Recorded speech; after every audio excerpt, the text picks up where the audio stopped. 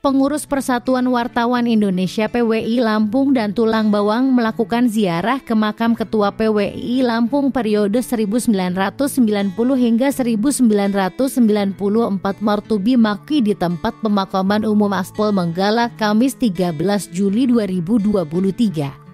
Ketua PWI Tuba Alamsyah mengucapkan terima kasih atas kunjungan Ketua PWI Lampung Wirahadi Kusumah beserta rombongan dalam rangka Hari Pers Nasional HPN tingkat provinsi tahun 2023. Selain itu juga menjadi ajang silaturahmi dengan kepengurusan baru PWI Tulang Bawang periode 2023 hingga 2026. Telah mengingat jasa-jasa beliau, mudah-mudahan apa yang dilakukan Provinsi Lampung dan PWI Kabupaten Tulang Bawang menjadi tauladan semua anggota PWI yang ada di Provinsi Lampung. Mengingat jasa-jasa beliau, meneruskan perjuangan beliau. Dan sekali lagi kami mengucapkan terima kasih atas kedatangan, atas doanya. Dari keluarga besar tidak bisa memberikan apa-apa mungkin doa. Semoga perjalanan pulang semua anggota PWI Provinsi Lampung bisa selamat sampai tujuan.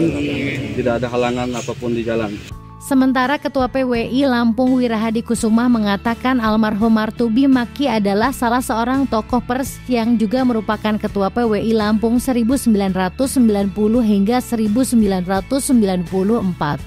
Masa menjalankan tugasnya ketika beliau tengah melakukan uh, pidato, melakukan sambutan pandangan praksi, uh, beliau jatuh, gugur ketika dia menyampaikan apa pandangan praksi terhadap uh, kinerja pemerintah daerah. Semangat itu pun masih di, ditunjukkan beliau uh, ketika dia uh, menjadi anggota DPRD provinsi.